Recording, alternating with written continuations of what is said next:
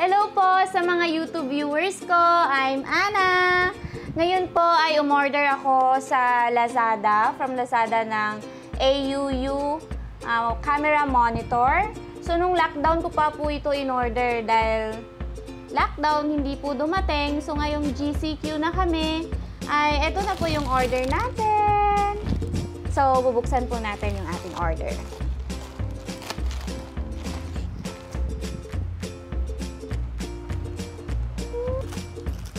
Na po.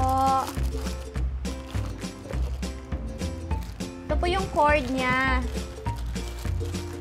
Charan! HDMI po yung cord.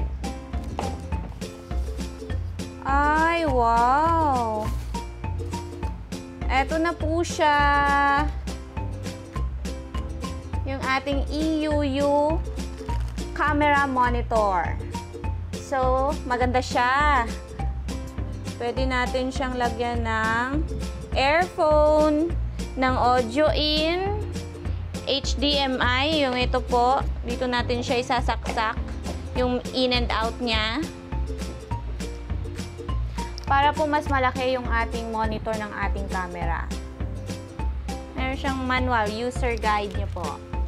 Para mamaya sa pag-setup natin. Ito po yung lagayan ng kanyang battery. Ito po yung sinasaksak dito, yung, yung nilalagay dito para po sa stand ng ating camera. At saka meron din siyang cover. Cover po to para para hindi po sobrang liwanag, sobrang nakakasilaw pag tingin na natin yung ating monitor ng ating camera para hindi nakakasilaw. Ay, charan! Happy-happy po ako kasi dumating na po sa wakas yung order ko.